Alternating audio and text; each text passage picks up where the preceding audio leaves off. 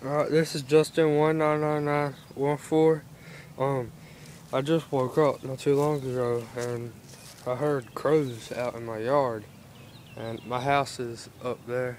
Maybe you can see it on the other side of the camper. My house is up there, and right back there, there was a crow on the ground. Were crows.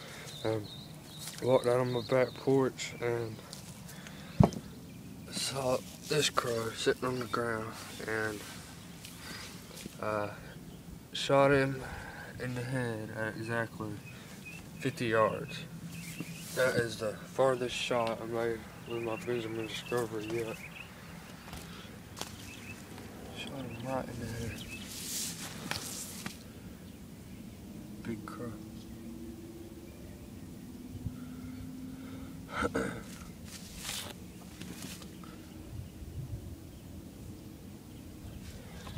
and I shot him with my Benjamin Discovery 22 caliber. Um, alright, this is Justin 199914. Uh, please subscribe for more videos. See you later.